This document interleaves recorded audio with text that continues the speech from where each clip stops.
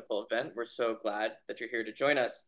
I'm Jesse Paul, political reporter here at The Sun, and events like these are really made possible by our members. And I'll just start out by saying that joining The Sun is quick and easy at coloradosun.com slash join. For just $5 a month, you can help make local journalism possible in the state and bring us, uh, help send us into all corners of Colorado to, to bring you the news that, that you need to kind of understand your state and um, make good decisions wherever, wherever you're doing at the ballot box. If you become a premium member, you also get the, unaffiliated, the unaffiliated newsletter, which lands in email inboxes on Tuesday and Friday mornings. Really peels back the curtain on Colorado politics and policy, and it's become a must read for the state's most politically connected, including many of the panelists here tonight. Um, it, it, heading into an election year, it's going to be kind of a critical thing to kind of unwind all the ins and outs of what's going on in, in the 2024 uh, contests and the presidential and the primary, and then the uh, general election in November. I want to also thank tonight's sponsors uh, for the sponsors of tonight's event, Colorado Education Association and Aponté and Busam Public Affairs. We also want to share that the Colorado Sun is now a member of the Trust Project. You can see our commitment to trusted journalism at coloradosun.com slash ethics. And as a reminder, as always, you can submit questions during the event that we can will be fed to us and we can try and get to as many as them of them as possible at questions at coloradosun.com. Uh, we, might not get to all of them, but we will try our best. And I want to just, I guess, now jump right into uh, tonight's main event. So, first, we want to welcome Governor Jared Polis, who's in his second term leading the state. He doesn't need much of an introduction. Uh, thank you so much for Governor uh, for joining us, Governor. I appreciate it. I understand you have some opening remarks, so I'll uh, give you the floor for a few minutes. Well, first, uh, congratulations to the uh, Colorado Sun on becoming a nonprofit. That was just, uh, I think, a few weeks ago. So, congratulations on your new status. I assume that means, Jesse, that donations are now tax deductible to the Colorado Sun. Is that correct? That is true. Okay, and um, good luck in that in that new status. There's been different forms of these pre-session events for several years, with in person, people posting their one big idea, virtual. Uh, it's always exciting to participate in these sessions. Um, our focus, uh, you know, from the administration standpoint, and I, I don't think there'll be anything uh, totally shocking in our upcoming State of the State next week, but our focus is really around uh, reducing costs for people and housing being the big cost, but certainly saving people money on healthcare and uh, continuing the work to make Colorado one of the 10 safest states. So, a strong public safety agenda, much of that's already public because it's in the budget documents that we uh, put forward in November, and then most recently updated with our January letter. Uh, Coloradans want to be safe in the communities that they live in. People want to be able to afford to live in the Colorado we love. And uh, really, a lot of the work that we need to do, informed by the people of the state. One of the things I've done over the last few months is we've had listening sessions across the state, formal ones, meaning, you know, 100 people in Grand Junction and Fort Collins, community leaders, city council, people from both parties, commissioners, civic activists but also informally uh, in the many public events that we've been doing over the last few months. And, and every corner of our state, people love Colorado, but people are very concerned about costs and, in particular, the high cost of housing. So we're really looking forward to working with uh, Democrats and Republicans in the legislature to uh, make a difference and help uh, save people money on housing and continue to reduce costs where we can to help make sure that people can continue to enjoy the Colorado we love. Back to you. Well, thank you, Governor. I realize, I guess this is your sixth legislative session. It's my seventh, so we we have, I got one year ahead of you, but it starts on Wednesday, and we're gonna have a lot to talk does about. that does that count the special sessions, Jesse? There were two of those, so yeah. Well, I guess in that case, I'm at ten. So, yeah. Um. So you kind of touched on this, right? I mean, the cost of living, housing in Colorado is, is a big topic that every poll that, that I see, it's it's the top issue for voters. So you've talked a big game on housing. Obviously, last year, you know, the the measure that you put forth didn't make it across across the finish line, and you've kind of telegraphed that yeah, some of these things are going to come back, but I guess we haven't gotten too many details on exactly what you plan to bring in the 24 session or, or what you plan to support. So I'm curious if you can kind of provide us with some details as, as we kind of barrel toward this thing. I, I think you're going to see a number of uh, bills that will reduce the cost of housing. Our our uh, calculus is simple. If something reduces the cost of housing, we're for it. If it increases costs for rent or purchase, we are very, very skeptical. Uh, and and will generally uh, be be opposing those efforts. So so there's a lot of things to do in that realm. Uh, many of them have been talked about for years, but I mean, you know, reducing red tape, making it easier to build, uh, transit plan communities. I I think uh, in addition to the cost of living from housing, people are looking, you know, the average Coloradan spends about $1,800 on gas for commuting, for instance. So, can people live closer to jobs? Can there be better public transit? Uh, can there be opportunities to live in transit line communities? So, really looking in holistic a way as possible on how, as we grow as a state, uh, we don't continue to become less affordable, but in fact can become more affordable. And and looking at all those cost drivers, starting with rent and mortgage, but of course that means uh, you know cars, gas, uh, distances traveled. We want people to be able to live closer to work. I mean, being able to have go to soccer games with your kid and after school events is priceless at the end of the day. And too many people are stuck in rush hour commute and, and not able to do those things they love simply because they can't afford to live close to their jobs. So last year's bill got hung up in large part because of this idea that it would have imposed some zoning regulations on local governments. Or any of the bills that that are going to come out of uh, you know the Democratic caucuses or your office this year? Is are they going to do anything like that with zoning regulations? Well, again, I think what you see um, Democrats and Republicans doing in many states, and similar efforts were, of course, led by Republicans in Republican majority states with Montana, where they were able to uh, pass reforms that really lean into private property rights. So, uh, you know, if it's your property and your home, you you have certain rights associated with that and we want to make sure those aren't trampled upon by government and that you're able to use those rights whether it's uh, you know building eh, you know in an area that allows up to three stories going from two to three stories renting out a room accessory dwelling units whatever it is uh, i think that defending property rights is a basic colorado value and too often those property rights are infringed upon by government. So I guess I'll take that as a yes, but but do you have any sense of what some of those um, you know impositions are? I mean local governments are obviously going to see that this as yeah i mean again it, it's simple. Any anything that makes it lower cost quicker easier to build housing we're for. So i mean you, you know there's many things that can do that. Anything that makes it slower or more expensive to build housing we are very skeptical about uh, opposed uh, and, and, I don't think you're going to see one bill, Jesse, if that's what you're asking. I think you're going to see, you know, 15 or 20 ideas from Republicans and Democrats, and maybe 10 are good and five are bad, but whatever it is, uh, we'll certainly help analyze those and support the ones that reduce the cost of housing, reduce red tape, reduce bureaucracy, lean into personal property rights, a basic, you know, value of mine as a proud capitalist that believes in private property.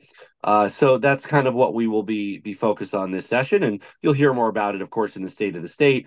Um, again, I I'm clear that housing is the biggest expense people on, uh, experience in Colorado, so you can fully expect that the biggest part of our work to save people money will be about housing, and that just flows out of the fact that rent or mortgage is simply the biggest biggest expense that most Coloradans have.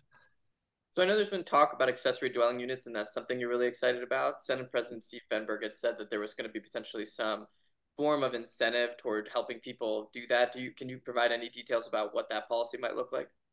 You know, again, we love and embrace all those things. I think another key thing is that there is no one silver bullet. It's not like if you do accessory dwelling units, solves Colorado's housing crisis and, and housing is suddenly affordable. But that's a powerful tool. We love them. They're often called mother-in-law suites, casitas but it enables somebody to have another it, it's great for both i mean you know the owner the homeowner if their lot is big enough they can have an accessory dwelling unit they can rent it out they can get additional income uh, and of course those are the most inherently affordable kinds of units what's happened in our state jesse is the most inherently affordable kinds of housing which tends to be things like accessory dwelling units but also apartments um, and um, uh, you know, uh, duplexes, triplexes, townhomes. Those kinds of homes have been the least likely to have been built over the last decade.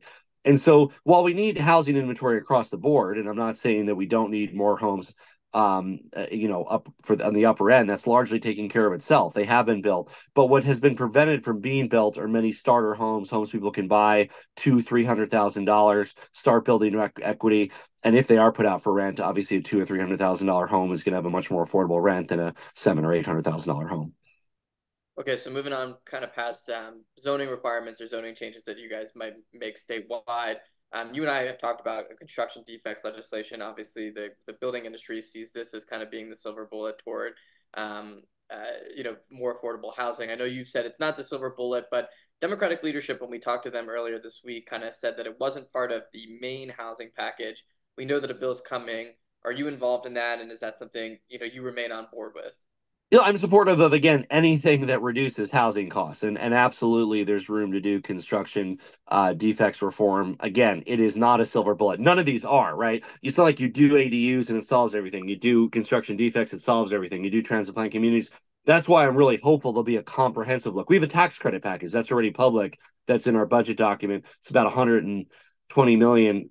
Uh, that helps too. Prop 123 helps. All these things, but um, you you know you don't just you don't just tweak one thing and it solves something. I mean, uh, and so absolutely, we're very supportive of construction defects reform. Uh, we don't want people to somehow think that that would solve it, but that can help uh, impact which units are for rent and which are for purchase. And obviously, we all, as a basic value, uh, I think Democrats as a whole believe that people should be able to build equity purchases better. We totally get that some people might not have a down payment, might be saving up, might have to rent for a while. A roof over your head is very important, but but the goal is obviously equity building and ownership.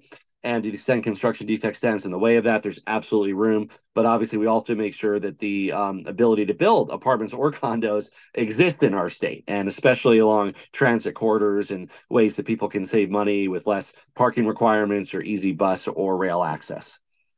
So obviously, everyone in Colorado can't afford to buy a home. So there are some bills that I know that the Democratic majority plans to bring on rent. One that failed last year, and I'm, I'm hoping you can weigh in on both of these. I don't know if I've ever heard you talk about these specifically, but one would lift the local prohibition on rent control policies.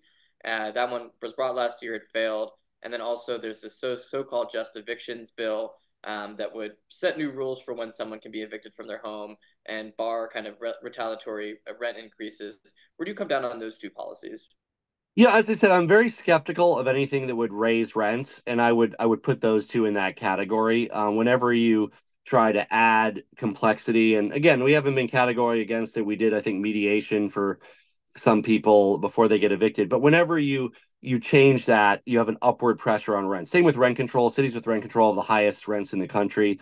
Um, you know, and and so we want to go the other way. We want lower rent, and of course, um, I think that the way we do that is we have, of course, more housing. The reason rent is so high is because demand is so high. Colorado is a great place to live but we've artificially constrained supply, and we need to remove some of those constraints on supply. Uh, and allow especially the most affordable kind of units. Again, we've talked about some of them accessory dwelling units, apartments, uh, multiplexes, shared rooms in, in people's homes. Um, all of these uh, inherently more affordable kinds of housing would help reduce rents. I'm not an economist, so I'm wondering if you can kind of unpack the, your position on rent control a little bit, right? Because I think the rent control policies are often enacted in, in cities and and counties, right, where the rent is already high to prevent them from getting higher. So how do you see a rent control policy contributing to, to high rent? I just look at the evidence. I mean, again, you know, and we're obviously open to some, but the cities that have it have the highest rent. It makes Colorado look, you know, dirt cheap. So, uh, and and generally the, you know, reasons for that, if you were asking economists, would be it's less of an incentive to build new units if they're going to be rent controlled. So it kind of works the opposite way of what we need, which is more units. Because if um, you know builders and and the capital knows that the rent won't be able to go up over time then uh, they're not going to be built. The just returns are there. And we have an undersupply already. So it, it only accentuates the undersupply and then pushes up rent prices for the few units that are out there.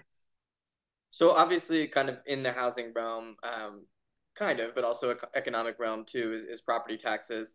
Hh failed obviously special session passed uh, during the special session there was a one year bill passed, kind of one year relief.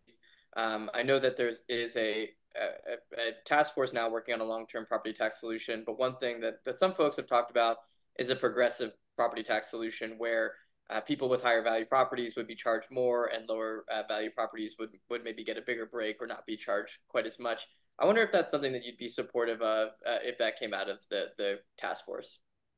Well, I, I think what we did in a special session is we absolutely gave a bigger break to lower value property. We, we basically reduced every the taxable portion of every property by $55,000. So if you had a $400,000 home, you're going to be paying taxes on $345,000 of that 400,000 home. If you have a $2 million home, you're paying taxes on 1. Point, you know, 9 uh uh 1.945. So I mean, the, the tax break was built that way. There was a slight rate reduction as well. I absolutely think rate reductions have got to be part of it, but we're very open to uh, whether they continue that 55,000 or or or or you know make it 60 or 70,000 whatever it is I, I think knocking that dollar value off the home helps as long as it's accompanied by a rate reduction I think you'll see most of us kind of waiting to see what this uh, what the bipartisan commission does Jesse and uh, you know I I know they're just starting their work and I think they will be coming out in March and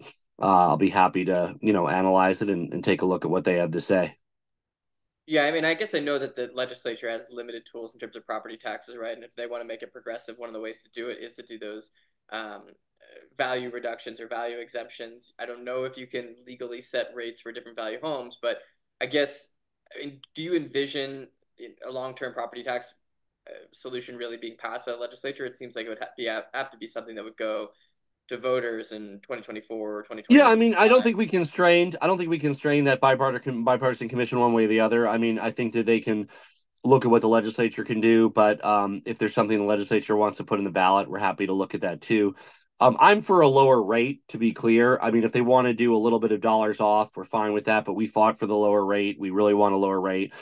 Uh, obviously, homes that are two million dollars pay a lot more property taxes than homes that are five hundred thousand dollars. So, um, I, I think the, the the problem is uh, the values went up um, a lot more than ever before. It's not necessarily a problem we're likely to have again in, with the next assessment period. It's kind of a a, a bit of a, a, a, unfortunate timing with the repeal of Gallagher and then the biggest two year increase, I think, in Colorado history. It's an average of 40%. I think we got that 40% increase down to about an 18% increase over the two year period, which still outpaced inflation, which maybe was around 12%, but it's a lot closer. So I'm for any way that we can reduce property taxes. I think uh, a rate cut has got to be part of it, but uh, we're not saying that needs to be the whole thing.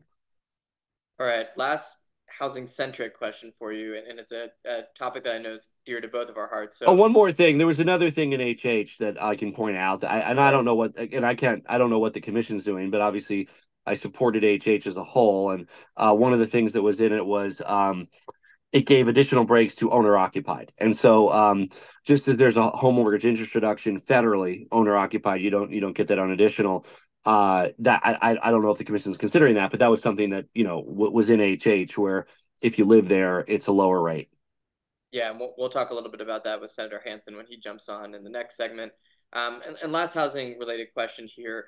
Uh, over the summer, the Colorado Sun did an investigation looking at HOA for, foreclosures, and afterward, you and a group of Democratic lawmakers vowed to take more action to prevent people from losing their homes at auction because they, you know, have missed payments or fines. Um, what updates can you provide on the work in this area? You guys promised big change, but I, I just haven't heard too much about what what might be coming this session. Yeah, I mean, again, you know, you're asking about uh, bills we haven't seen yet, Jesse. So obviously, um, you know, I I think there likely will be bills in that area.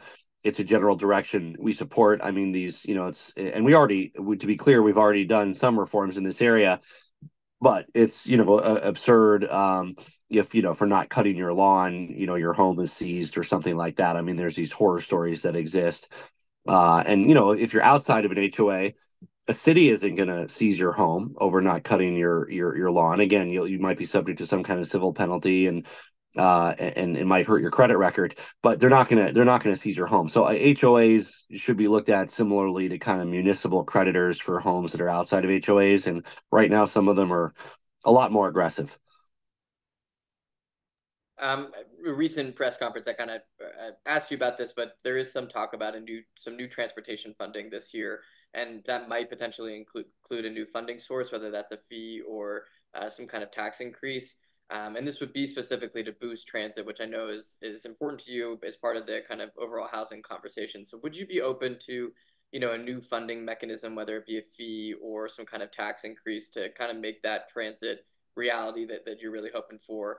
Um, come true. And, and I would say this would be probably separate from the front range rail, which I know is a whole other near and dear. Yeah, I mean, I mean, separate but interrelated. I mean, front range rail we view as a it's a kind of transit, right? So this is and, and, and I mean, there's there's and there's mountain rail, front range rail, interconnectivity of light rail buses. Uh, there's a lot to that piece. I mean, the way that I look at it is the way I look at anything. Does it net save people money? So, I mean, again, you look at that cost of gas, eighteen hundred dollars a year people are paying average. Um, and, and actually it might be 1600 now because that was calculated when gas was, you know, $3. We have one of the lowest, you know, gas costs in the country. It's great. We're like 260 some a gallon now. It's a little bit lower than Denver metro area. Uh, but uh, again, it's still you know people are spending a lot of money on commuting. So if there's a way to save people money in there, uh, then we're all for it. I mean, if a family of four can thrive and be excited and only have one car instead of two, I mean that can save that family thousands of dollars a year if they're able to get where they want to go. And that's money that can go into college savings, retirement, family vacations, college, uh, all of those great things that people want to spend it on, uh, not just on gas. So we, we really look at that and, and want to weigh carefully to make sure that any proposal would save people money. But in that transit space, Jesse, I, I absolutely think there is the opportunity to save people money with more and better transit. Okay, so let's just game it out, right? Let's just say there's a um, a new additional fee on a gallon of gasoline and let's say it goes toward building you know better transit connectivity so people maybe wouldn't have to buy um, as much gas i mean would that count in your mind as being something that would qualify as, as yeah i mean i just just show us the numbers right i mean i don't i don't think it'll i don't think it'll be gas we have uh fees on that there actually are some fees from gas now that go that can go to multimodal transportation um, but yeah, I mean, again, it's just it's a mathematical thing. It's not a philosophical thing. I'm just going to look at well, what does it get us, right? Is it free bus fares? Are there more buses? Is there light rail? Is there passenger rail? What does it get us where? What are the estimated savings in both time and money from people? What are the costs? And uh, do we have a scenario here where, um, you know, net it saves Coloradans time and money. And obviously, time has a dollar value attached to it too. Um, you know, whether it's time, you know, time getting to and from your job. But as I mentioned, I mean, time not being home with your kids or missing a soccer kids soccer game is priceless. So, how can we better help people live closer to where they work and where they want to play? Also, get where they want to go quicker and easier and at lower cost. And uh, just like roads and highways take capital investment, yes, uh, these things are generally less expensive. I mean, buses. Uh, uh, and transit are generally less expensive than big highway projects, but uh, doesn't mean that they, they, they don't cost anything up front. So you want to look at what that benefit is and, and how much money it saves people. So transportation um, is connected to greenhouse gas emissions. It's I think the biggest source of, of greenhouse gas emissions in Colorado. And one of our uh, readers wanted to know that that there was a state analysis that was released in November. My colleague Mike Booth wrote about it, and it showed that Colorado, and this was from state officials, said that Colorado would fall short of its 2030 uh, carbon dioxide reduction goals, which would also mean that the state would fall uh, short of its your 2050 goal. I think it was a campaign promise in your first election of zero emissions by that point. I wonder if we're going to see any specific legislation from your administration this session that, that can accelerate or kind of catch us back up and make sure we're, we're on track. Yeah, I mean the biggest thing we need to do, Jesse, is is what we've just talked about around transit, but it also ties into housing. So, I mean, most people don't want to have a 45 minute commute to work each way. I mean, again, if people want to and they want to have acreage and, and, and there's people who do that, God bless them, and they don't mind commuting, you know, an hour and a half a day, 45 minutes each way. But many people who do, and I hear from many, wish that they could afford to live closer to uh, where they want to be, where they work. Uh, and so uh, it, it, it, it's, it's happened because of the housing crisis. So we could do the transit planning uh, overlay along with more and better transit, along with more affordable housing uh, it can help us meet our climate goals. And I think that's the biggest challenge we face this session is figuring out the interplay between those so people aren't forced to live so much further from where they work and commute in a single occupancy vehicle as the only way that they can live the lifestyle they want to they want to live. Does that happen fast enough though to kind of get us back on track by 2030 2050?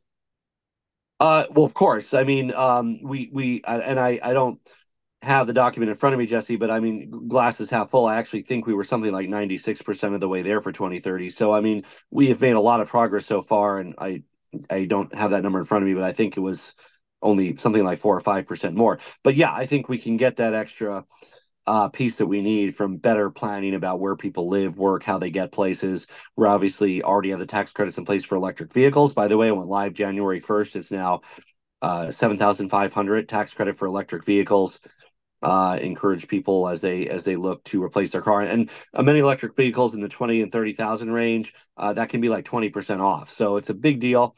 Lower operating costs. Uh, and for people who choose to purchase them, uh, we've made uh, many models available in Colorado as well. And right now, something like 13, 14% of vehicles sold are electric in our state. All right. Well, you have to tell me where you can find a $20,000 electric vehicle. That that would be news to me. Um, we'll be happy to. I, I mean, there there are some that are. I once you add up the federal and state tax credits, there's some that come in even lower than that. So we'll uh, we'll get you the information. All right. Um, I want to talk water. Uh, obviously, there was the commission that that was formed by the legislature, the Colorado River Drought Task Force. Uh, this didn't come out of that, but it did come out of um, one of the uh, interim committees. There's a proposal in the legislature this year that would prohibit state and local governments, as well as homeowner associations, HOAs, for planting or installing new non-functional turf, artificial turf, or invasive plant species on any commercial, institutional, or industrial industrial property. I know you kind of have a libertarian streak in you, and I wonder where you come down in, in the government telling people what they can and can't plant, plant, or you know, state government telling local government, or just mandating this kind of across the board. Well, we are taking a hard look at what the state does. I believe in leading by example. So, uh, we of course have an executive order in this area. We are reducing our state water footprint. Uh, we uh, have a lot of uh, uh, land and, and, operations, and uh, we want to show the way in in, in reducing the use of, of turf and moving towards Colorado scaping. I also signed a bill last session that prevents HOAs from requiring uh, water intensive landscaping. Um, they they if if residents of HOAs want to do xeriscaping, they have to have that option. Um, so I think you see a lot of exciting things happening in Aurora, uh, also leading the way on new uh, water efficiency codes. Um, it also factors into, frankly, this housing discussion that we're having because the type of housing that we're envisioning more of is not only more affordable and closer to work, but also far more water efficient than continuing to move further and further out, longer commutes, less water efficiency, less energy efficiency. So, uh, water efficiency is very consistent with our goals around making living and uh, housing in Colorado more affordable as well. Okay, in the couple minutes that we have left here, I want to hit a few uh, big topics. Um, Tabor refunds, uh, they were flat this year under the bill passed during the special session. Moving forward, that's not the case. I know that you want an income tax uh, rate reduction when there is a Tabor surplus, but uh, where do you come down on this? The, the Democrats in legislature want to keep the rate flat. Is, is that what's going to happen going forward, or are you going to continue pushing for an income tax rate cut? Yeah, I mean, we would, we would, eh, you know, we need there to be an income tax cut for us to be able to negotiate anything else. That's kind of the starting point. Is is we want there to be an income tax rate cut. Uh, the Tabor surplus uh, means two things. One, there's a strong economy, uh, which is terrific. Uh, but it also, uh, I, I sometimes, you know, tongue in cheek refer to it as a roaring Polis economy. But you know, people like to blame me when things are bad, but they don't always get credit when things are good. But um, the other thing is, it means is that we're overtaxed as a state, so our our tax rates are too high whether it's property tax, income tax, sales tax, they all should be lower because uh, we have this huge surplus. So, I mean, you know, and again, if Democrats want to make the case to go to the voters to use some of it for schools or housing, and they've done that successfully with Prop 123 as an example, you put that on the ballot, voters consider it. Um, you know, I've uh, supported some of those in the past. That's fine. But I'm not supportive of there being uh, an enormous surplus. It simply means it's a signal that rates are too high and the state legislature or the voters. We've had we passed two permanent uh, income tax cuts. I supported both of them. Uh, widely popular, you know, majorities of Democrats, Republicans, Independents all supported uh, the income tax rate reduction to 4.4 percent. It was 4.63 percent when I came in. We've cut it twice. And, uh, and and with regard to the Tabor, it would more likely be a temporary income tax rate cut. But we're for temporary, permanent, whatever uh, can pass the legislature or go through the votes of the vote of the people. Okay. I mean, I've heard you talk about the income tax rate uh, cut a few times, but the legislature keeps making income tax uh, the the Tabor refund. Well, we've cut it. We've cut it twice so by vote of the people. We've cut it twice by vote of the people. Uh, I'm, you know, we can cut it through the legislature or the people. I mean, whoever it's, it, you know, it just it needs to be cut. Uh, so obviously, our our preference is always to work with the legislature uh, and and and and we're not you know greedy in the sense saying that oh my gosh the by the way if you cut if you if you use the entire Tabor surplus and cut income taxes I think you'd be in the 3.9 range we'd, we'd actually be below four percent uh, but we're we're happy to take a more modest income tax rate cut uh, in exchange for you know whatever else people want to do with other parts of the surplus such as a one tier refund mechanism. Okay. Um, and last question here. In 2024 is going to be crowded ballot in terms of ballot measures. Uh, and I'm wondering where you're going to come down on, on two areas. One is going to be uh, a measure that will enshrine abortion access in the state constitution, lift the state ban on, on government dollars being used to pay for abortions. I, am assuming you're supporting that. Is that something you, you plan on campaigning for? Well, Jesse, way too early. We're talking about legislative session, and I haven't seen half these bills. Um, usually, what I do is a month or two before the election, I read the blue book and um, you know, I'm happy to share how I'm voting if I have a strong opinion on things. Um, if things are going through the legislature, if they need my signature, I might see them a little earlier. But no, I I have not started to think about next November's ballot. Uh, we obviously will be, you know, reading a lot of bills this session and focus on that. Of course, I'm pro-choice, always have been, uh, and and um, you know, we'll we'll be happy to look at uh, whatever comes down for November.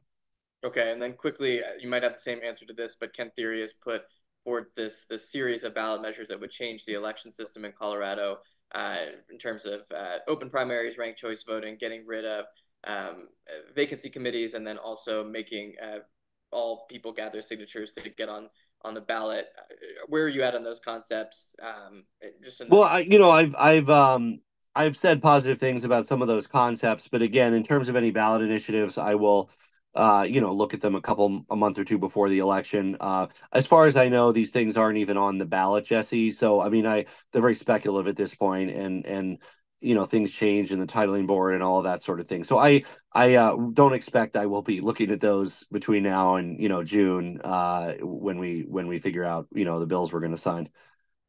All right. Well, thank you so much, Governor. I really appreciate you joining us tonight. Sorry to go over by a minute, uh, but but super appreciate your time and and thanks for answering our questions. Thanks, Jesse. Take care. All right, so we're going to head into the next section of our program here uh, with two state senators who can turn on their cameras now if they're there, hopefully. There we go. Ah, from the Senate floor, Senator Chris Hansen, a Denver Democrat. Um, wonder why you're at the Capitol today. Um, why would you be there? We don't have to be there till next week. And then as Senate Minority Leader uh, Paul Lundeen, a Republican from Monument, the top Republican um, in the Colorado Senate. Thank you both for joining us, and I really appreciate it. Um, I guess we'll we'll jump right in here. Uh, Senator Hansen, since you're in the Senate, I guess we'll ask you the question. The first question. I want to talk about property taxes. Uh, we just talked a little bit with the governor on this. Um, we've we've had a lot of questions come in about your your bill. A lot of reader questions come in about your bill that would tax homes as short-term rentals for more than 90 days in a calendar year as commercial properties instead of residential. So the rate is about three times higher. I, I know that measure is going to come this session. I wonder where you're at in terms of, uh, you know, building a coalition, who you're talking to, if you feel like it, it might have a chance that this is, as you know, kind of the, uh, it's been called the grasping the nettle bill. So I wonder if, if you're if you're feeling the nettle right now and and uh, w- w- where things stand. Uh, yeah, I mean, I think that's a fair description, Jesse. Uh, great to be with you tonight. So glad to join Minority Leader Lundeen as well. Thanks for the invitation. Uh, yeah, I mean, it is a nettle. Uh, it is a tough subject to talk about, which is how should we handle the property tax treatment for uh, short-term rental properties in the state. And you know, we've we've got a first draft of that bill. I, we're expecting to do some significant amendments to that. Um, you know, I, I think the problem we're trying to solve is you've got properties that are being used uh, in some cases virtually the same as uh, lodging properties like at a hotel in fact, we've got examples from Steamboat where they converted a hotel to short term rentals, and overnight, the school district lost a million and a half dollars out of their budget, which then has an immediate impact on the state budget because we then need to do more backfill uh, through the School Finance Act. So there's some really difficult uh, issues that we've got to deal with there around usage, conversion, creating an unintentional tax loophole. I think the balance that we're trying to strike, though, is to be able to allow people to own second, third properties, use them uh, in a part-time basis, totally fine, and and making sure that they're uh, taxed at an appropriate rate for that. But then treating that differently from uh, the corporate properties, the giant conglomerates that own thousands of these units across the state that are basically running them as hotels or condo hotels. That's a very different thing, and I think that's what you'll see in this debate with the short-term rental is trying to differentiate between those two and, and making sure we have tax fairness in Colorado. So there's not a big difference between uh, an actual hotel, a bed and breakfast, uh, and the building next door that's being used in the exact same manner. So that's that's what we're trying to address. Can you share what, what maybe some of those amendments are? I know there's a lot of anxiety around the bill. I mean, is this going to look totally different than the than what came out of the interim committee? Yeah, I, I mean, I, I, think the concept is still roughly the same, which is what's the you know what is the right and fair way to treat different types of rental properties short term long term et cetera um, you know i think the amendments that we're looking at would create uh, different categories for very high use properties that are very much like hotels uh, and say medium use properties that are 100, 150 days a year uh, versus properties that are rented out 30, 40 days a year. So I think there's kind of a, an idea that we're looking at around small, medium, and large, to, to for lack of a better descriptor, uh, and and try to really uh, line up the tax treatment for those properties with the services that they require, uh, so that it's fair across all the different types of lodging. And maybe that kind of answers my last question on this for you. There are concerns among people that this will make housing markets collapse in certain part of the states, right? I mean, there were folks who bought houses, uh, you know, or condos expecting to use them as short-term rentals at a certain tax rate, and you know, some of them say, look, the economics wouldn't work out for me at these at these higher taxes. Um, is that maybe what you're hoping to address here? And I guess more broadly, what what would you say to those people? Yeah, absolutely. Look, I don't, I don't think there's a, uh, you know, the sky is not falling. I think we're just trying to do a thoughtful job of, of creating tax equity and, and tax fairness, uh, making sure we can handle the, uh, the local services that are required for different types of properties, uh, lodging and residential, et cetera. Um, so for folks that are worried about that, you know, the intent here is not to somehow, uh, you know, destroy a certain business model or make things really tough on folks who do part-time rentals. Uh, but you know, this is just, I think, an important discussion about tax fairness and how do we handle, you know, the the local fire district? How do we handle uh, school funding? How do we handle uh, the extra uh, expenses of, uh, you know, infrastructure that that go along with lodging properties? So that's really what we're trying to do. And you know, I, I one of the things I found interesting here is it's not a right or a left uh, kind of argument. It's not a, a partisan one in the normal way we might think of that because there's a lot of uh, county commissioners from conservative counties who are struggling with this as much as you'll see, uh, you know, more more progressive counties like Summit. So uh, it's going to be a really important and interesting discussion, and looking forward to tackling it in in uh, the coming months. Well, fortunately, we have a Republican right here who we can ask about the proposal. I know um, a few years ago, Senator Bob Gardner actually brought a version of this. He was the one who called it the grass the nettle bill originally. Um, Senator Lundeen, I, I, think he's actually softened his, his position on this, but I wonder where um, you, you stand on this personally and, and, kind of what your views are on, on this particular change. Fair enough. Jesse, it's a pleasure to be with you. It's a pleasure to be with Senator Hansen. I was almost, uh, as it turns out, going to be in the chamber doing this myself. It would have been interesting. We could have sat side by side, Chris, or maybe we could have sat on opposite sides. Who knows? Um, but I got ahead of the snowstorm. I'm in Monument now, and the snow's coming down pretty hard down here in Monument, so I was able to get home. Um, I appreciate very much the way Senator Hansen is approaching this, and there is an array of circumstances that this, uh, in terms of the providers and how this affects various individuals. Um, the the folks who are trying to piece together um, uh, additional income, they, it's a property they've they've acquired over the course of their life and used it. Now they're renting it. Um, we need to be sure that we protect their ability to not only have one, but two or three or five or 10, if they can build a small uh, in income supplementing or, quite frankly, a small business for themselves. I think that's important that we protect that. Um, and there is obviously uh, the, corporate tax question, I mean, the conversion of a hotel. But that one is a tough one to argue. But I will give you a philosophical argument against this. Um, we just heard from the governor. The governor says we're collecting too much in taxes. I agree with that statement. We are collecting too much in taxes, property taxes, income taxes. We're sitting on massive reserves, and we need to let that stay with the people. So the way I look at this is I start with the Uh, the ratepayer, the tax ratepayer, and quite frankly, the overnight lodging ratepayer. And as we raise the costs to those individuals, people, human beings, we're going to raise the cost to their family. We're going to make it harder for the people who are just trying to live their life to, in fact, live their life because we're putting an additional burden, financial burden on them as we do it. Senator Hansen makes a good point. The local jurisdictions need to figure out how to fund that fire truck, how to fund the operation of uh, the public safety and so forth. But um, the idea of just let's go grab more money is not one that I'm ever very comfortable with. So, kind of digging further into the, the property tax realm, during the special session, Republicans brought forth some um, uh, ideas for, for, for property taxes and, and longer term cuts. Some of them kind of cross some red lines for Democrats when I think about um, tapping into reserves. Uh, and so it, you saw a very partisan split, right? The Democratic bills passed, the Republican ones met a uh, quick demise.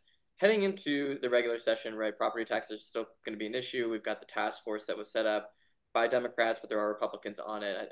you have, I think, at least a few appointees on it.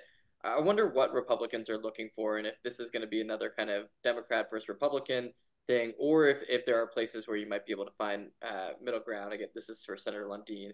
Um, you know, are you thinking about ways in, in which you can bridge that divide and and get some of your ideas in there, or or do you think it's going to be kind of a a partisan foil type situation again? Um, I, I, appreciate that. It's a great question, and I, I, hope we can work towards a better policy outcome. Um, I would say in this particular conversation, there's kind of three different players. There's uh, the Democrat perspective, there's the Republican perspective, and then there's the perspective of the people of Colorado. Clearly, they batted down HH in a landslide defeat, uh, a 20 point uh, uh, defeat of that particular idea. Um, I think the things that I would like to see come out of the task force would be predictability, predictability for taxpayers. Um, and I think that over time provides some predictability also for local jurisdictions. Um, I would like to see um, things like instead of just as the one-time fix that came out of the special session as allowed out or driven out by the Democrats, it only dealt with residential property taxes. I believe we need to deal with non-residential commercial property taxes because at the end of the day, um, taxes for businesses are just a cost of doing business and they're passed on to individuals. Again, individuals are crying out for relief and we need to give the businesses from whom they get their services and uh, products to get relief as well. So we need to make sure that we're providing relief both to individuals and to commercial ventures as well. Another thing that I'm very sensitive to is we absolutely must finally make the homestead exemption portable. We honor our seniors in Colorado after 10 years in a home. They should uh, they have currently the ability to get an exemption. The exemption also goes, uh, the property tax exemption is also given to disabled veterans and now Gold Star families, people who've lost a, a family member in the service of the country. Making that portable, I think, is beneficial not only for the individuals, but for the broader housing problem that we have. And I'm sure, Jesse, we're going to get into housing affordability at some point. One thing we need to do is we need to give those seniors the ability to, when they decide to downsize, take that tax credit that they've got, that tax exemption they have, with them to the smaller place where they might choose to downsize to. So I'd like to see those sorts of things coming out. To the political dynamic, um, this is one where I feel very comfortable. I believe that uh, the Republican arguments uh, in this particular um, conversation have been arguments that are in alignment with the broad majority of the people of Colorado. They are asking for relief property tax relief. And quite frankly, we would like to add on to that income tax relief, but that's not part of this question. I need to unmute. I was going to say, well, I might have a question that that bridges that. Senator Hansen, I know you've been interested in the past on renters uh, providing some kind of rental income tax credit. I know that some states have done this, and certainly it would be a tax cut. Is that something that that we might see this session? Um, I haven't heard too much talk well, about that, but yeah, I mean, I, Jesse, we we've gone beyond interest. I actually helped pass that last year, so we we did a renters tax credit. Uh, it was relatively focused, uh, and I think this is a year in 2024 where we could do something more broad uh, for all renters. It was focused on seniors uh, in the last uh, version of it, so that we did get that in place. I'd love to extend it and expand it. Um, you know, to this point about bipartisanship, I think Paul brings up portability. The Democrats are very much in favor of portability. In fact, uh, you know, we put it on the ballot. We have supported it uh, several times, but I think we've got to find a version of it that doesn't hurt the funding for schools, that doesn't hurt the funding for other local services. So it's going to take some some pencil sharpening. Uh, but it's one of the things I'm hoping to have a great conversation about as chair of the Property Tax Commission as we look at places where there is a lot of overlap, where there is a lot of agreement, and finding ways to implement it so that it it doesn't have a negative impact on on our kids in school. So huge areas of agreement uh, that we can can uh, come back to. And in fact, the Property Tax Commission is majority Republicans.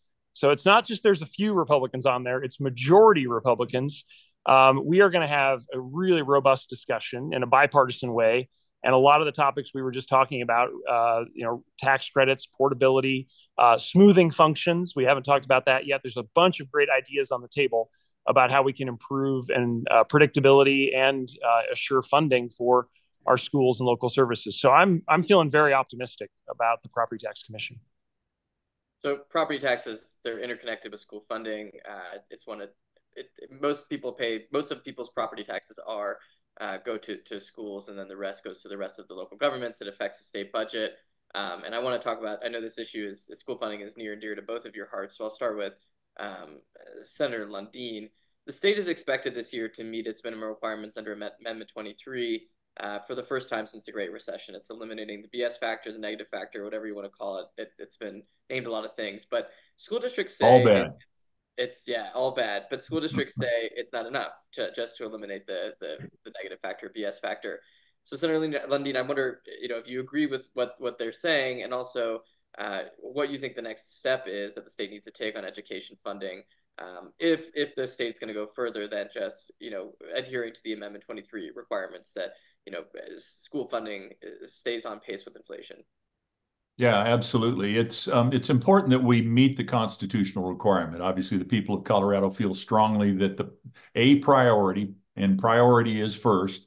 So the, I will call it the priority of state government, and it's uh, largely funded by local, but it's balanced by state. And at this point, it's more funded by state than by local. B, the funding of K-12 public education.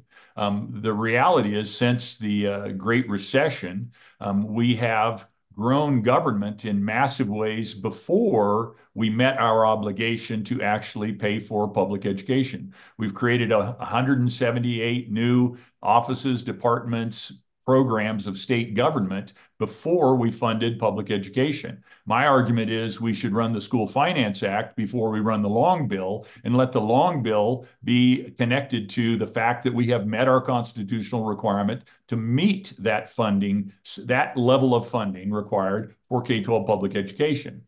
But here's the secret, and I'm a bit of an education policy wonk, you know, four years on the Senate Ed, five years on Senate Ed, four years House Ed, four years over at the state board prior to that.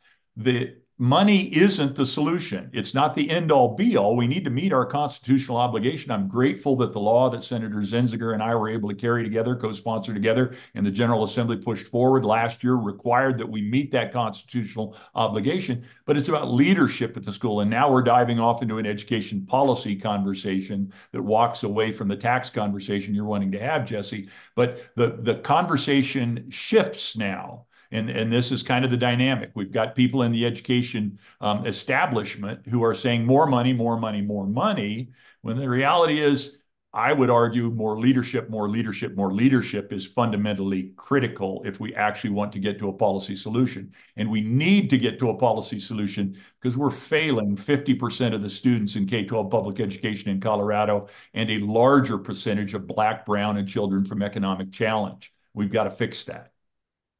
I think I think I might know what Senator Hansen might say, right? But I think uh, teachers unions and education advocates might say, you know, funding is the solution to to bridge that gap. Um, not to, I mean, maybe I'll just kick it to you, Senator Hansen, to say, you know, uh, like, is is there more spending room for Democrats this year beyond, you know, the Amendment 23 um, requirements and eliminating the BS factor? And and if so, what is that going to look like? Um, you know, is that going to happen?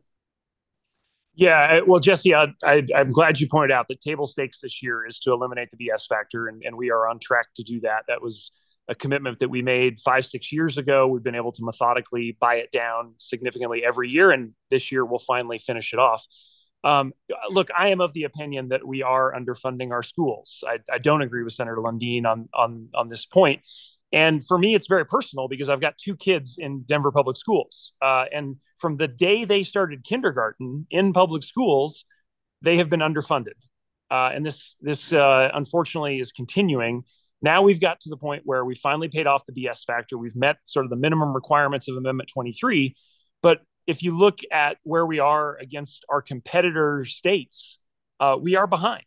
And I look, I, accede to the point that we need leadership in public schools, but I also know that people need to be paid well for doing a great job. And one of the ways you get great leaders is to make sure that you have fair compensation. And I think it's pretty clear if you look at Colorado teacher pay and you compare it to other states, we are way behind. Uh, we are, you know, bottom 10 in basically every category of school finance. So to say money's not the answer, uh, to me, that's just too easy. Uh, it is a big part of the answer. We have to do better. If we were 25th in the country and talking about, hey, do we really need more money? That is very different from, hey, we're 49th in teacher pay or whatever the category might be. And unfortunately, that's where we're at. We're in the bottom 10 across most educational funding categories. So we need to focus on that. And uh, to say it's just leadership, I think, uh, you know, just misses uh, the the obvious point right in front of us that we're underfunded and underfunded badly. So, do I get a rebuttal? Yeah, you can. I just, I just maybe to add in, if you can answer this as well, right? I mean, I wonder if the middle ground here, and I know this has been talked about at the Capitol before, is to set aside money specifically for teacher pay because I've heard Republicans also complain that that, that teachers are underpaid. So, you know, is is that where maybe there can be some agreement, and, and you guys can look kind of in the cushions and say, you know, we'll, we'll send more money to schools as long as it's directed specifically toward teacher pay and and whatever else you want to answer, go for it. Well. Yeah, the, the Constitution's really clear about this. The 178 school districts are responsible for their budgets. They determine where it's going.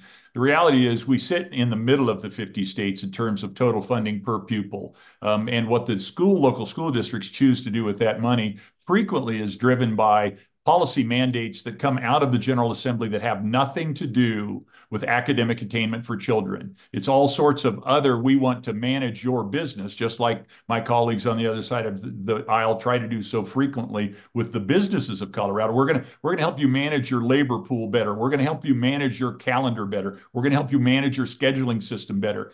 Businesses don't need that. And the schools of Colorado don't need that, and they get a lot of that. So the funding thing is we're dead center in the middle of what's spent. But let's not look across to other states in terms of what's going on and the competition that's happening and where successes are happening. Right inside Colorado, we have parents voting with their feet. When I first got into the education policy conversation 11 years ago, 8% of the students of Colorado were in charter schools. Today, 16% of the students in Colorado are in charter schools. And those charter schools, which have a greater parent engagement, uh, they are delivering a meaningfully different, better result across all categories of measures and statistically different, better results in several meaningful categories. And so it's and that is kind of a, a, glimpse into this question of leadership that I'm talking about. Part of the leadership there is you have parents that are more engaged. Um, and quite frankly, I want to be really clear those charter schools serve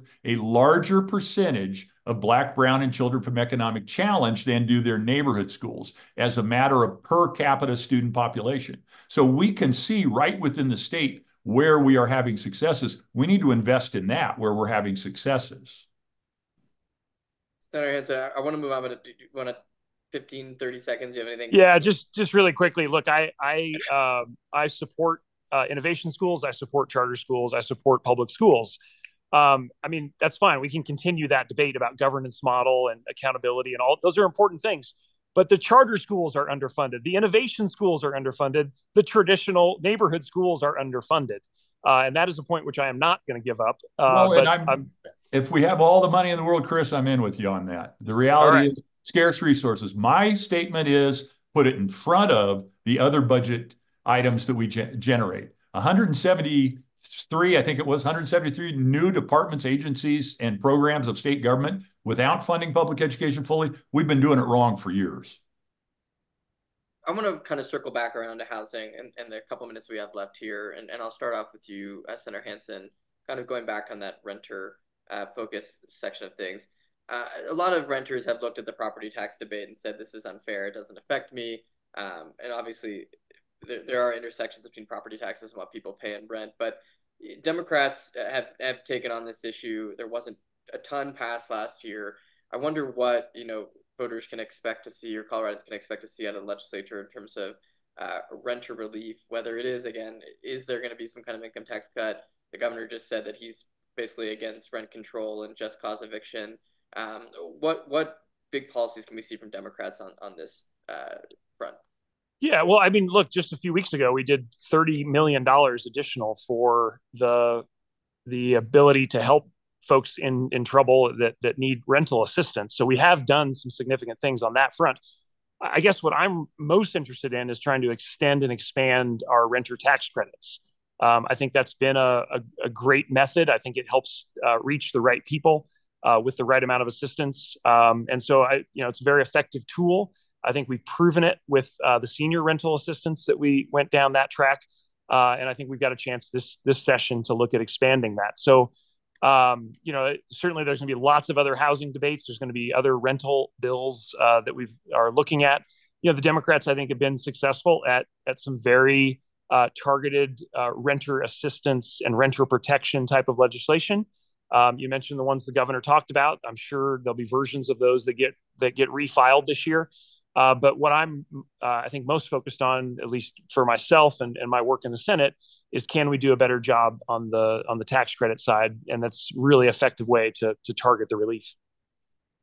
Senator Lundeen, where do you kind of come down on this? I guess both in terms of you know how how can Republicans bring solutions uh, for the high cost of rent in Colorado and other high cost of living aspects. I know this is something that you guys have you know you, you harp on a lot. Uh, what are some of the solutions we're going to see? Yeah, as a matter of just good economic policy, an earned income tax credit is a better policy than a government bureaucracy that may or may not help out the people that it's designed or supposed to be helping. So the idea of providing direct uh, relief to individuals is something I support. Now, part of the challenge we have in the special session is we rated the, the Tabor refund money to fund a, a, an earned income tax credit. I could not disagree more with the source of funding for that and could not disagree more with the policy construct as a matter of economics. So, so there's there's right ways to do things and wrong ways to do things. I think finding the correct way where we're not raiding the taxpayer bill of rights refund money and th- and but applying state dollars. And boy, the state's got a ton of money. We got 4.3 billion dollars among all the various reserve accounts. We have plenty of money. It's applying those in a in a way that is intelligent on behalf of the people of Colorado because they're crying out for some relief. Okay, speaking of rating Tabor refunds or tapping into whatever you want to say, I mean, Senator Hansen, do you think the Democrats are going to try and use any of that money uh, strategically, as they did maybe with property tax relief, um, for something else? I mean, what, what's is is that are those conversations happening? Yeah, lots of conversations. I mean, look, the earned income tax credit, which there is broad bipartisan support. Uh, great to hear Senator Lundeen say that. Uh, is a tax refund mechanism, as is the senior homestead exemption, is a tax refund mechanism um, and the Constitution is very clear that the General Assembly should set the mechanisms for tax refunds. And so we'll continue to do that. Uh, you know, I, I love the EITC. I have run six bills on the expansion of the earned income tax credit. I ran several bills on the expansion of the child tax credit, which we know is massively effective at reducing childhood poverty uh, at the national and at the state level. So those are tax refund mechanisms uh, to treat Tabor uh, refund mechanism as some you know sacrosanct thing, uh, I think ignores what Tabor actually says, which is that we should set the Tabor refund mechanisms. And so that's exactly what we'll continue to do. And I think EITC and child tax credit are two amazing examples of how we have very carefully done that. Senator Lundeen, go ahead if you want to for 15 or 30 Sure, sure. I, I think the, the voters of Colorado have been really explicit. The one place that they have said you may use as a constitutional matter, you may use Tabor refunds is in the homestead exemption for seniors um, and now for uh, disabled veterans and Gold Star families. Um, beyond that, it's it's certainly flying in the face of it. It is flying against the intent, the design of a refund. We're, we, what we've got now is a an effort of by the by my Democrat colleagues bless them, I love them all, to reallocate and redistribute money instead of refunding it to the people who paid it in. And we did talk to the governor a little bit about that. So we've got about one minute left. And Senator Lundeen, since you're not at the Capitol, I can ask you an election question. Um, okay. election year, so I, I, would be remiss if I didn't ask uh, an election question. Um, so it's an election year, and while your caucus won't be able to win back a majority uh, for the 2025 session. Um, that's just a mathematical reality. You do hold a few seats. Uh, you do need to hold on to a few seats and maybe pick up a few to be competitive in 2026. If that doesn't happen, then you guys are going to have problems for even longer. I wonder how your strategy at the Capitol this year is going to reflect that, and, and what your the messages you're going to try and you know send to voters kind of in the the couple months that you have to to get their attention. Yeah, absolutely. It it's feels like it's been a while since Republicans had a tailwind, and we found and felt a tailwind with this the 23 election. The way the taxpayers um, and voters of Colorado said we believe in principles that are uh, held forth and argued on behalf of constantly by the Republican Party as they knocked HH down, gave us a sense of we as a party are connected to the people of Colorado on the kitchen table issues, on the tax relief issues, on the regulatory relief issues that uh, they, they in fact care about and interact about. So we we have a, a sweet spot to go to politically, and, and that's where we'll be going is is connecting with the people of Colorado on the kitchen table issues that I, I think my Democrat colleagues maybe are are missing the boat on. Senator Hansen can't respond because of his uh, choice to. I don't know if you're allowed to technically, but as to being at the Capitol, it's semi policy. I wouldn't hold it against him. Yeah, well, I, I, mean, I'll just say one quick thing, which is the dynamic that we've seen uh, on the last several cycles. Uh, there's going to be a lot of repeat because of the nominees uh, for president, and uh, I think Senator Lundeen knows that, um, and I also think the voters of Colorado care deeply about uh, the abortion issue and making sure that we protect choice in the Constitution. Uh, and I'm very much looking forward to seeing that pass in 2024. All right. Well, we'll have to leave it there. I, I appreciate you both for joining, both for joining us tonight. Thank you for for taking some time out of. I know it's a busy, hectic week right before the session, and uh, I look forward to seeing you in that red room. Uh, just a, a, a, few days. We'll be locked in there for quite a Great. while. Thanks, Thanks Jesse. Thanks, Senator Hansen. All right, so for the last 30 minutes of our program, I'm going to hand things off to my colleague, uh, Brian Eason, a fellow political reporter at The Sun. He likes to be called a policy reporter because he is a, the policy nerd uh, on our team. He'll be speaking with uh, House Speaker Julie McCluskie, a Dillon Democrat, and House Minority Leader Mike Lynch, a Wellington Republican, uh, the top Republican in the House. I'll note that Lynch this week announced his bid to represent Colorado's 4th Congressional District, but he's staying on in his role as Minority Leader. So, uh, Brian, the, the floor is yours. Excellent. Thank you so much, uh, Jesse, and uh, thank uh, you both so much for joining us um, and for your patience. I know it's uh, getting a little late in the evening. Um, Madam Speaker, I, I would like to start with with you if you are if you're on here. Um, so, uh, Colorado's cost of living is one of the, I think you would agree, one of the biggest issues facing the state right now. Uh, we at the Sun have had an ongoing series looking at how high prices for everything from housing to concert tickets have have skyrocketed in recent years. What specific plans do you have to make Colorado a more affordable place to live? Uh, well, first of all, hello, Brian, and excited to be here tonight with my partner, Minority Leader Lynch. Great to see you, Mike um, and really appreciate this opportunity to talk a little bit about what is coming in the second session of the 74th General Assembly. Um, you're absolutely right. The cost of living, the affordability crisis um, is, I think, still the top issue that our communities are facing. I represent six counties up in the high country, and whether we're talking housing, healthcare, childcare, food, um, being able to uh, you know achieve a job that pays a living wage and cover those expenses is becoming less and less attainable. So, this session, I think we will continue our march to press for uh, more pathways to create affordable housing um, excited to say that a lot of the dollars we invested in affordable housing policy and projects um, over the past few years, uh, whether that was ARPA funding or one time state dollars, you know, we're starting to see those dollars roll out, sticks in the ground. Um, I know in my communities, we're starting to see housing projects come online, and that increase in inventory is really critical. I think this year um, there is a, a good momentum to bring back some of the ideas that we saw in Senate Bill 213 last spring, whether that's a focus on transit oriented communities, creating more density around transit hubs, um, focusing maybe on ADUs, uh, accessory dwelling units. How can we help uh, create more inventory through more ADUs?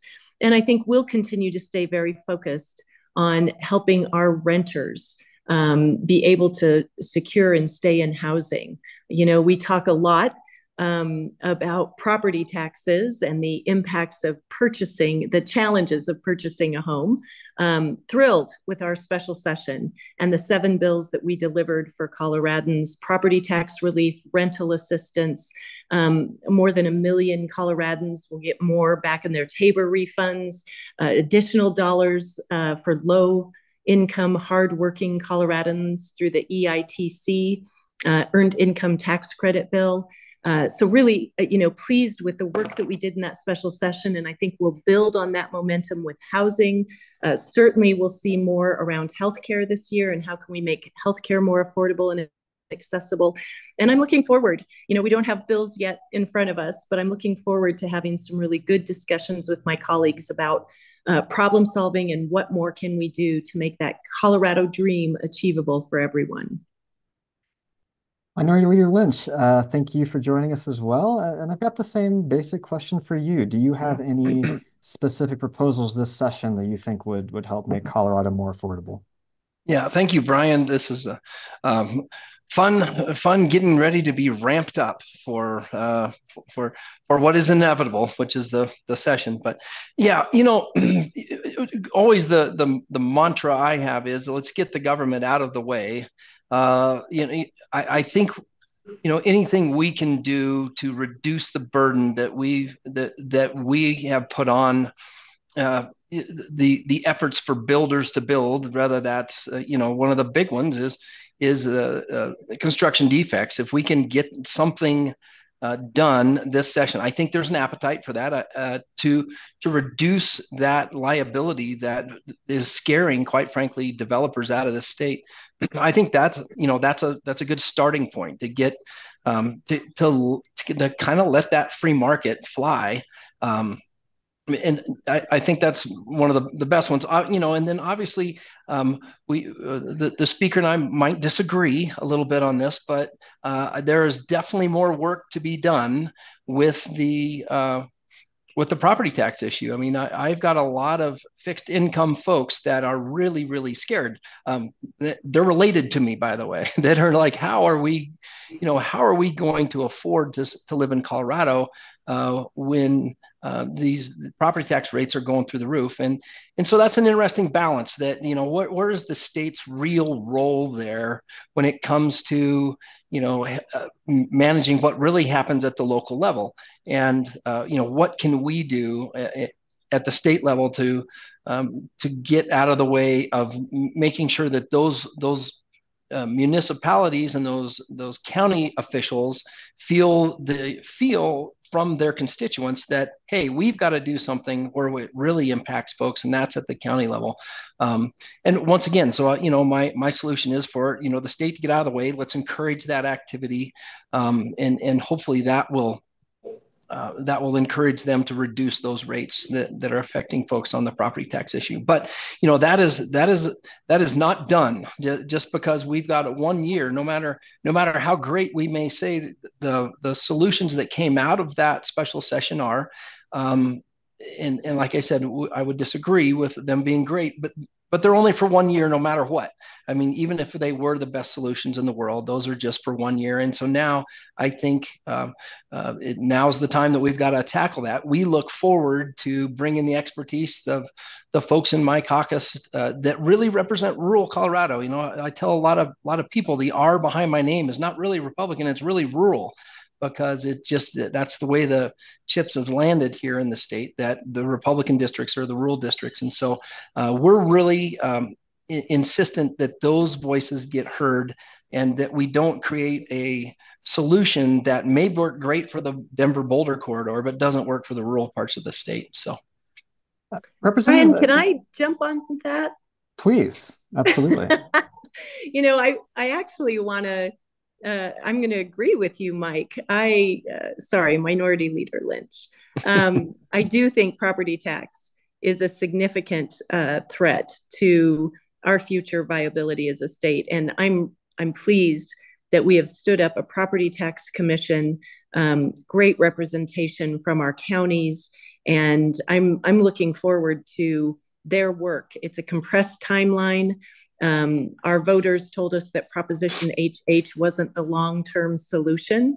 And I know this commission is full of uh, incredibly smart and talented people who are committed to finding that long term solution. And I'm I'm hopeful that we will see a recommendation come forward that we can all support later this spring.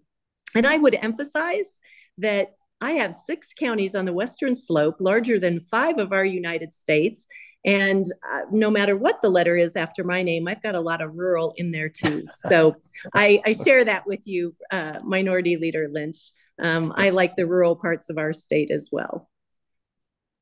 Uh, let's stay on property taxes for a second. Uh, Representative Lynch, your caucus, I think, opposed just about every piece of legislation that, that passed during the special session, right? And that includes some property tax cuts that I think many Republicans said didn't go far enough. Um, do you see a realistic path to getting bipartisan support for for your proposals? Because what I keep seeing is Republicans propose tax cuts, and Democrats are like, "Yeah, but this affects schools, this affects local governments." Um, uh, how do you what do you see as the path forward that can actually get some get some agreement here? Right. Well, uh, just to make a commentary about one of the things that was interesting that I learned at the special session, and, and I saw this in the discussions there, is that um, you know there was an there was an effort, I think, to defend or protect the state's money, and the, and this comes in with you know why would we tap into our reserves? Uh, at the cost of citizens having to tap into their their pockets, and that um, so there's kind of to, to, start off, there's kind of an ideological barrier that we've got to get through there. Um, and, and, we were, you know, pounding the table saying this is this is you know taxpayers' money. This is our constituents' money. Um, you know, we're always optimistic that we will be included in those conversations. Um, I, I I would like to be optimistic that that we will really really listen to what this commission comes up with. I, th- I think its composition has the opportunity to bring some very good feedback. Um, but I've, you know, I'm, I'm not going to be naive to commissions and task force that I've seen that um, that are they end up producing the result that that somebody else wants to make. In this case, you know, let's hope the governor does not uh, have a predetermined uh, a predetermined idea of what he wants this commission to come up with. Um, so I'm always optimistic of that. I have to be optimistic as the super minority leader. Uh, that's what keeps me coming back is that we're um, that those voices will be heard. Um, so you know we're always we're always willing to be there. You know, in in this last discussion, um, you know, we really do feel like we we weren't heard in that discussion. We and, and that's not that's not necessarily the speaker's fault. That a lot of that came from the governor's office and and the departments that um, that we had a hard time getting a, a, seat at the table with. And so we're optimistic that that'll happen. Uh, I, I, believe that the good minds at the Capitol can come up with a solution. Um, and so we'll see what that is, and we'll see if we really do listen to that commission when we when it comes time to craft that legislation. Uh, Madam Speaker, let's let's stay on taxes, but but talk a little bit about the senior homestead exemption because I think that uh, mm-hmm. portability has gotten a lot of yes. the attention. Um, but another issue that you know I've heard from folks is it's just worth way less than it was when voters added to the Constitution in 2000, right? Like homes used to be used to cost 200,000 and they'd get $100,000 off their assessment. Now a house is worth 600,000 or 700,000 and they're getting the same level level of tax break. Uh, would would you support updating it so that it provides more relief? And and if so, should that money come out of the current TABOR refund mechanism or or something else? Yeah, great question, Brian. We have a couple members in the House who have uh, worked, I think, for years in thinking about the proper senior homestead property tax exemption through a, a means test, right? Uh, you're right the dollars don't go as far as they used to. And at the point the pandemic hit, um, you know, that there was a lot of discussion about cutting the senior homestead tax exemption. We would have had to zero it out since it is in the Constitution. Um, but we didn't, recognizing how critical it was to be able to provide that, particularly for seniors on a fixed income um, and seniors who are at a different economic point in their lives when you know paying tax bills becomes that much more difficult i would certainly support um, an approach like that that would recognize um, we have you know like all parts of our society, we have seniors on a continuum, some on a, a, fixed income and probably a very modest home or, or modest townhome, apartment, apartment condo. Um, and then we've got folks up in, in my part of the world who live in million dollar homes or are in their retirement and uh, may not be on a fixed income in a much more uh, solid financial state. And I think the relief could be applied for that senior in the lower uh, income bracket and have a much more meaningful and important impact. So um, while I know members have talked about it uh, for as long as I've been here in the House, I don't know that anything is coming forward, but it, it's an excellent point to raise. And I will just say in general, uh, this last uh, interim this summer, I hosted a town hall with a focus on the challenges many of our seniors are facing uh, on the Western Slope. And, you know, not only for those that are fortunate to own the rising property tax increases, but the cost of living really hits our senior community hard when they're on a fixed income and we're seeing the kind of skyrocketing prices uh, in our communities. So it's um, you know it's a it's a group of people in our state that we really want to work to protect and love to see what may come next. I'm to pivot off property taxes for, for a little bit here. Uh, Madam Speaker, two representatives in your caucus have uh, resigned in the last month, and both of them kind of pointed to what they said it was kind of a vitriolic atmosphere at, at the Capitol. Um, how are you responding to those complaints? Are you have you taken any concrete actions to kind of promote a more positive environment at the legislature? What, what do you think is going on there? Uh, thank you for the question, Brian. Um, let me start first by saying, you know, we have seen an erosion of civility. We've seen disrespectful debate and name calling at the national level for several years. And certainly the uh, environment on social media, um, the, the posts that I see, uh, particularly from politicians, is very disturbing. And I think we're starting to see shadows of that national landscape here in our state. Um, I am strongly committed to promoting a civil, constructive, collaborative working environment in the chamber. We have House rules and decorum in place. We have uh, counseled members when they have failed to follow those House rules and decorum guidelines. And we are underway with work to help our members better understand some of the expectations um, uh, how words can impact people, uh, create a culture that may uh, be considered or feel hostile in ways. And I'm uh, I'm excited because I think helping to provide more clarity for members on what is acceptable and what isn't. Um, certainly, um, lifting up our workplace harassment policy, our workplace expectations policy, policies that help guide uh, respectful and appropriate behaviors in and outside of the chamber. Um, I was very sorry to lose Reps, Reps Dixon and Sharbini. Uh, they were first term uh, members and uh, have a very promising career ahead of them. Um, and I, I am committed to making sure that as we move forward, uh, we move forward uh, in collaboration with our Republican caucus members uh, in working to make sure that everyone feels safe, comfortable, um, and that the culture here uh, does not stray into the same abyss that we see at the national level. Uh, Minority Leader, do you have do you have any any thoughts on this subject? Uh, some of your members, I think, have at times said some offensive things as well. Uh, have sure. you asked, have you talked to your members about toning it down or, or being more respectful uh, in their comments in the well? Yeah, absolutely. Um, you know, just overall, the the you know, the the speaker touched on it. I think great with the, the overall evolution of social media and the constant the constant uh, eye on what you're doing or the constant ability to express your frustration.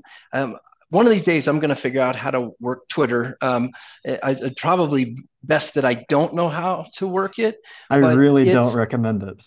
Okay. Well, now it, it's already changed name. I guess it's something else now. But but you know, no, I think you know that gives an opportunity, and it's really it's a generational thing too. We're seeing there's a lot of young members um, in on the floor of the House of Representatives that that that has been their way of communicating, um, and and without without filter, right, and without you know uh, uh, rules around dialogue, which is much different when you're talking face to face with somebody.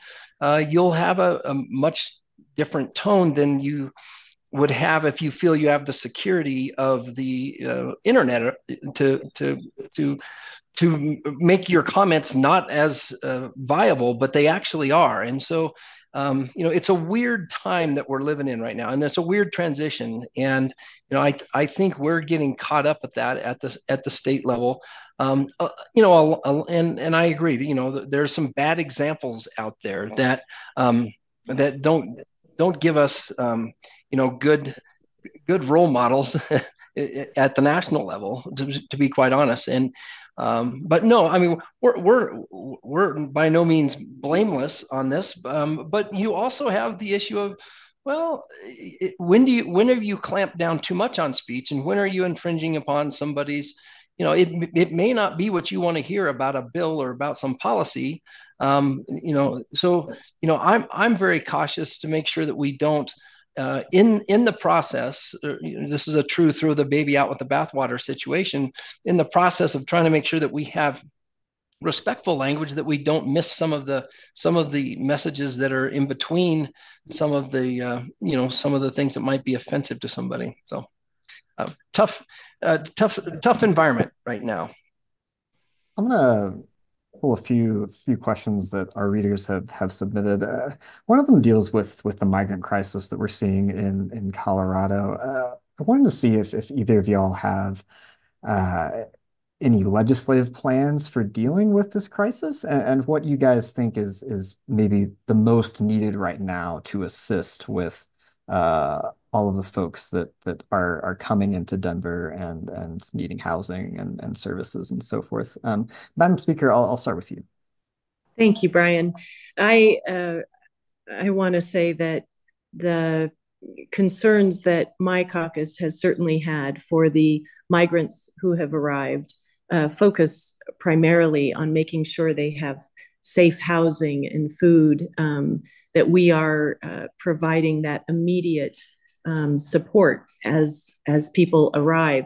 You may be aware, Brian, that our joint budget committee just passed a, an emergency supplemental $5 million uh, to help provide, uh, to, to, to funnel funding through nonprofits to be able to provide those services.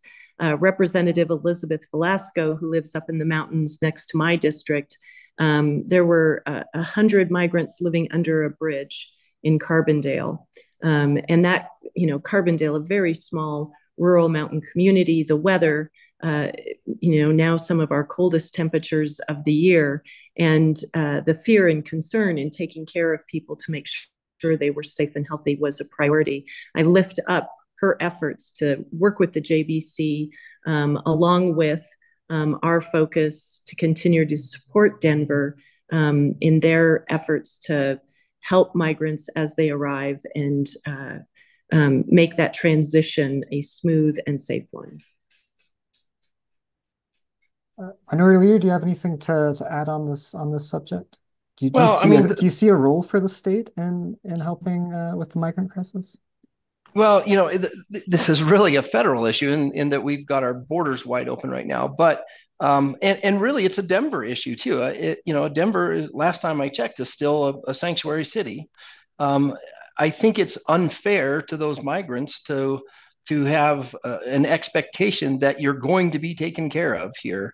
Uh, and, and, and to a certain extent, we could do that. But now we're seeing so many of them um, you know, I see this inevitably being elevated to a state level. I mean, these are humans. These are people that are here. Rather, uh, you know, how they got there, uh, you know, is a is one conversation. But once they're there, we have to figure out what we're going to do. So I, you know, I see there they're becoming a state role in this, and it's not just Denver. I, I mean, uh, in my district, they're it, it, you know they're they're they're getting they're spreading throughout the state. Um, and then it becomes you know th- those municipalities issues. Um, so you know we we can't we can't be without compassion. I, I think that we can do more to uh, to to have the expectation of these people that you, you you're not going to necessarily get taken care of. If we keep on giving that expectation that you're going to be taken care of, they're going to keep coming. Um, and unfortunately with you know as a small business owner that would love to hire somebody but i can't because the, the minimum wage is so high um, colorado may not be the right place for them to be. Um, uh, but but once again once they're here we'll have to figure out how to make sure that we're not letting people die on our streets. So uh, i see it being elevated to a state level uh, uh, sooner than later actually. Well immigration is actually a great transition, uh, you know, you're of course running for for Congress now. Uh, how will you balance your responsibilities at the Capitol with with this run? Can you fundraise for your campaign and your caucus at the same time? How will you manage campaigning while working at the legislature? Talk a little bit about how that's how that's going to work. Yeah, well, you know, I uh, seven days after graduation, I was in the military, and I've been running hard ever since. Uh, yeah, the schedule at West Point that I had was pretty darn rigorous, and so I'm gonna have to I'm gonna have to go lean back on some of my old old days when I was just constantly moving.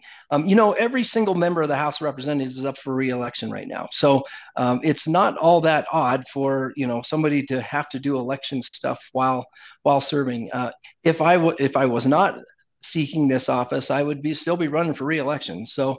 Um, I uh, I will figure out how to do it. I know how to work really hard, and uh, that's what this is going to take. It's going to be a challenge. There's no doubt. Uh, we'll but we'll uh, we'll see how it goes. Uh, we have a few minutes left here. I want to get to a to a few other other questions. Uh, water issues in the state, I think, have, have been a big issue, focus for both of you. Are, are y'all satisfied with the the task force or the uh, the drought task force uh, work over the over the interim? Uh, and are there any pr proposals that you particularly like or really want to see past this session? Uh, Madam Speaker, I'll start with you. Thank you for the question, Brian. Uh, you know, I am uh, really pleased with the work of the Colorado Colorado River Drought Task Force. That's a mouthful. Um, you know, they were given a charge uh, to look at what role the state could play in helping to address the significant drought that our state is facing. And when we talk about the Colorado River, um, its vitality uh, is so critical to our water future, but to the water future of the entire West. Uh, there's a responsibility in how we uh, look at our own internal policies within this state, whether you're Western slope or Eastern slope, um, which is how the great water world divides itself. Um, priorities, uh, you know, priorities can be very different. In my communities, uh, outdoor recreation is based on our water supply, right? Whether we're talking snow in the winter or our healthy rivers in the summer. And uh, I've, I've said in multiple occasions that the Colorado River is much more than a waterway. It is the tradition and spirit of what it means to be a Coloradan. I'd even say it's a romantic adventure for us. When we talk about water in the on the western slope, um, it is our lifeblood. And the task force came forward with a, a group of recommendations that I think are are, are very exciting. Uh, in-stream protecting in-stream flows uh, will be one that I hope we can move forward this year, along with uh, some of the interesting perspectives on water projects and infrastructure. Uh, there were two ideas that I think, given a little more time, would have also borne fruit. One was about uh, shepherding water, uh, a very light approach to how we might protect water in a, a thoughtful uh, approach in conservation, and then also industrial wastewater, how we might be able to uh, uh, be sure that we secure coal water in the future and protect that. Um, I, I, was a part of an event uh, just a couple of weeks ago with the Shoshone uh, hydropower plant uh, near Glenwood Springs, and excited to say that the state is now in a position uh, to help support uh, financial interest in securing the senior water right that is currently owned by Xcel for the Shoshone power plant. Um, if we're able to secure that, it could be a significant boost um, for uh, you know protecting the water in the Colorado River for decades, if not generations to come. So really excited uh, with that project. It will require an investment from the state that could come through our water projects bill, which we carry every single year. And uh, yeah, I, I'd love to talk about this one again, Brian, because it is it is certainly important to me, my district, and ultimately for our entire state. Definitely. Well, we're we're right at time, but Minority Leader, I do want to give you a chance if there's any particular water proposal yeah. you, you wanna you wanna mention here. Uh, real brief. I mean, it, and the speaker's right. It, you know, the West is really uh, really defined by water. It, whatever we can do uh, at the state level without encroaching upon or or you know jumping on private property rights of of, of our farmers and ranchers uh, we should do. You know, we, we were actually, fortunately or unfortunately, set back with a very wet year last year uh, that had the other states really at the bargaining table, and uh, and and now you know that now there's not quite the push. And so uh, we can't let the fact that we've got uh, we are at a place right now that we weren't at last year to keep us from continuing to work hard on these water issues in the state. I've got municipalities in my district that are done building because we're out of water. Um, so it's it it it it is the lifeblood of of our growth in this state so all right. Well, I, I think that's all the time we have. I, I do want to thank you all again for joining us and, and thank you both so much for your time. Uh, I'm going to kick it back to uh, Jesse for a quick uh, for a quick wrap up here. Awesome. Thank you guys so much. I really appreciate all of your time tonight. Thank you to our previous panelists and the governor. Uh, just a reminder to, to become a Colorado Sun member to make events like this possible. And if you become a premium member, you get the unaffiliated newsletter where we write about all these people all the time uh, and pull back the curtain on Colorado politics and policy. Again, it's an election year. The unaffiliated is, is what you need to kind of navigate all the ins and outs of, of Colorado politics and what's going to be happening over the next 12 months. I want to thank again our sponsors of tonight's event, the Colorado Education Association and Aponté and Busam Public Affairs for, for supporting our work and, and making this possible as well. And finally, just once again, the Colorado Sun is a member of the Trust Project. Uh, and you can see our commitment to trusted journalism at coloradosun.com slash ethics. So we'll all be back at the Capitol on Wednesday. The governor's state of the state address is on Thursday. So stay tuned to the Colorado Sun for the, the next year as, as we uh, follow all these folks uh, and what they're doing. Um, thanks again for joining us and have a great, safe night.